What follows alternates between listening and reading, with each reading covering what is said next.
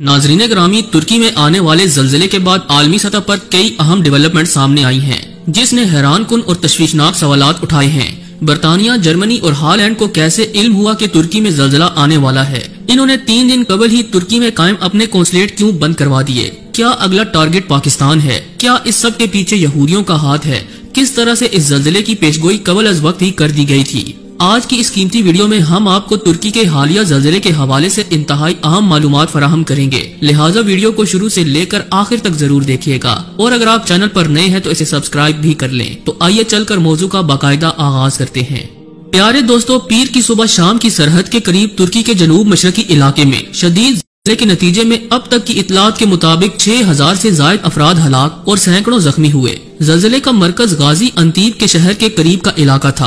और पहले शदीद झटके के कुछ ही देर बाद जहाँ एक और जलजिला आया और आफ्टर शॉक्स का सिलसिला कई घंटे गुजरने के बाद भी जारी रहा। माहरीन ये सवाल उठा रहे हैं कि ये जलजिला इतना होलनाक क्यों था? इस जलजिले की शिद्दत सात अशारिया आठ रिकॉर्ड की गई और सरकारी हुकाम के मुताबिक ये एक बड़ा जलजिला था। जलजिले का मरकज ज़्यादा गहराई पर नहीं था। ये गहराई 18 किलोमीटर थी। इसीलिए मुतासरा इलाके में कई इमारतें मुनदम हो गई यूनिवर्सिटी कॉलेज ऑफ़ लंदन के कुदरती आफात आरोप तहकीक के शोबे रिस्क एंड डिजास्टर रिडक्शन ऐसी मुंसलिक प्रोफेसर जोया फारवा के मुताबिक। पिछले तमाम बरसों के मोहलिक तरीन जलजलों को देखा जाए तो गुजश्ता दस बरसों में सिर्फ़ ऐसे दो जलजले आए, जिनकी शिद्दत पीर के रोज तुर्की में आने वाले जलजले के बराबर थी। और इससे पहले के अशरे में ऐसे चार जलजले रिकॉर्ड किए गए ताहम किसी भी जलजले से आने वाली तबाही का इनिसार सिर्फ़ इस पर नहीं होता कि इसकी शिद्दत क्या थी। इसके अलावा ये बात भी बहुत अहम है कि जलजला शुदा इलाके में इमारतें किस कदर मज़बूत या कमज़ोर थी।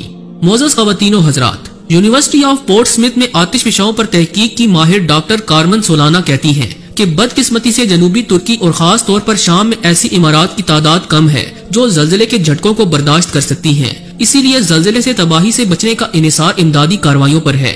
आइंदा 24 घंटे इस हवाले से इंतहाई अहम है कि इनमें कितने लोगों को ज़िंदा निकाल लिया जाता है। 48 घंटे गुजरने के बाद ज़िंदा बचने वालों की तादाद बहुत कम रह जाएगी।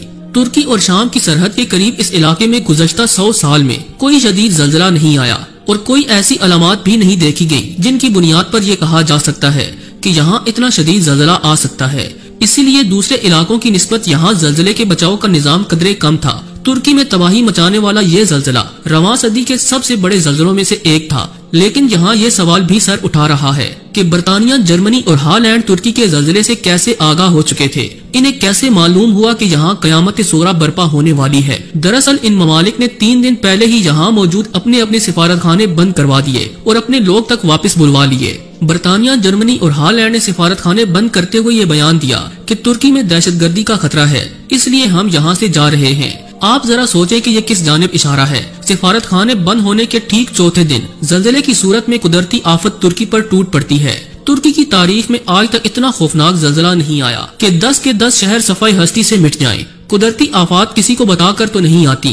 ताहम बरतानिया, जर्मनी और हॉलैंड के बयान को सामने रख कर ये कहा जा सकता है कि क्या ये मैन मेड था, क्या ये कोई एक्सपेरिमेंट किया गया था, जिसके नतीजे में इतनी तबाही हुई। मामला तुर्की का था यही वजह है कि इन ममालिक ने दहशत गर्दी का नाम लिया और वहाँ से भागते बने।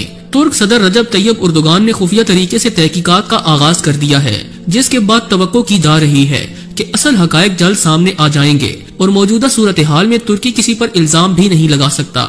नाजरीन ग्रामी दूसरी जानब एक हैरान कन हकीकत ये भी है कि तुर्की में आने वाले तबाह कन जल्जिले की पेशगोई कबल अज वक्त ही कर दी गई थी। नीदरलैंड से ताल्लुक रखने वाले तहकीककार फ्रैंक होगर ने समाजी रबते की वेबसाइट ट्विटर पर। कुछ रोज कबल इस खत्े में बड़े जल्जिले की पेशगोई की थी।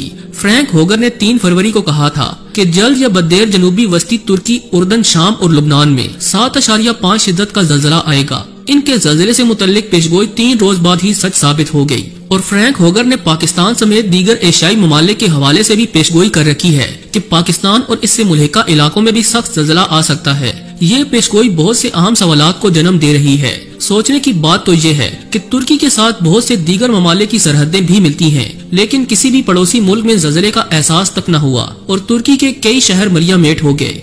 एक और अहम नुकता ये है कि हमेशा इसराइल के हमसाय ममालिक में ऐसी आफतें क्यों आती हैं जो कि सब कुछ तहस नहस करके रख देती हैं। और इसराइल में एक दरख्त का पत्ता भी नहीं टूटता। यकीनन इस सब के पीछे यहूदियों की बहुत बड़ी साजिश है। वो अमेरिका के साथ मिलकर टेक्नोलॉजी के बलबूते पर, जिस मुल्क पर चाहते हैं, कहर ढा देते हैं। यहूदी पिछले 200 सालों से वन वर्ल्ड ऑर्डर लागू करना चाहते हैं, और इसके लिए वो किसी भी हद तक जा सकते हैं। आज भी यहूदियों की खुफिया तंजीम ने दुनिया के बड़े ममालिक को अपनी मुट्ठी में कर रखा है। बैंक हो या कारोबार हो, दुनिया भर की मीशत हो, या फिर फ़िल्म इंडस्ट्री, सब पर इनका ही राज चलता है। जबकि अमेरिका और इसराइल तुर्क सदर रजब तैयब उर्दुगान से खौफजदा हैं, क्योंकि तुर्की ने मुआदा लवाजन के खत्म होते ही अहम ऐलान कर रखे हैं। एन मुमकिन है कि तुर्की में आने वाला ये जल्जला इसराइल और अमेरिका की किसी खुफिया टेक्नोलॉजी का शाखुसाना हो।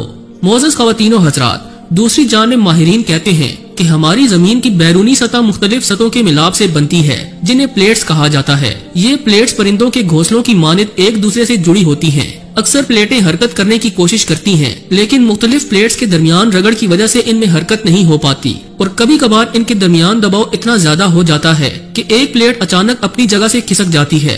जिससे ज़मीन की सतह हिल जाती है। पीर को तुर्की में आने वाले जल्जले में शुमाल की जानब हरकत करती हुई, अरेबियन प्लेट और अनातोलियन प्लेट में रगड़ पैदा हो गई थी। माजी में आने वाले बड़े बड़े जल्जलों में मुख्तलिफ़ प्लेटों के दरमियान रगड़ से तबाही हुई। तेरह अगस्त 1821 को भी तुर्की के इन्हीं इलाकों में सात अशारिया चार की शिद्दत का जल्जला आया था। ताहम इसकी शिद्दत पीर के जल्जले से खासी कम थी। इसके बावजूद इस जल्जले के नतीजे में ये इलाका बुरी तरह से मुतासर हुआ था। और सिर्फ़ हलब के शहर में सात हज़ार अमवाज रिकॉर्ड की गई थी। उन्नीसवीं सदी के इस बड़े जल्जले के एक बरस बाद तक इस इलाके में आफ्टर शॉक्स आते रहे।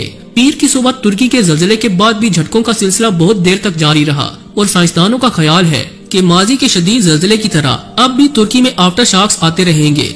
जल्जलों की पैमाइश के लिए आजकल जो पैमाना इस्तेमाल किया जाता है, इसे मूवमेंट मैग्नीट्यूड स्केल कहा जाता है। इस पैमाने पर दो अशारिया पाँच ऐसी कम की शिद्दत के झटके को महसूस नहीं किया जा सकता। और ये आला इसकी पैमाइश नहीं कर सकता। ताहम पाँच तक की शिद्दत का जल्जला रिकॉर्ड किया जा सकता है और इतनी शिद्दत के जल्जले से ज़्यादा नुकसान नहीं होता। सात अशारिया आठ की शिद्दत के झटके को एक बड़ा जल्जला कहा जाता है और इसके नतीजे में अमूमन खासी तबाही होती है। कुछ ऐसा ही तुर्की के साथ हुआ।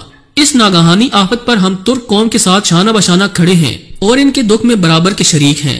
अल्लाह ताला से दुआ है कि वो तुर्की पर अपना खसूसी रहम फरमाए और आलम इस्लाम को शर पसंद अनासर की साजिशों से महफूज रखे। आमीन सुमा आमीन।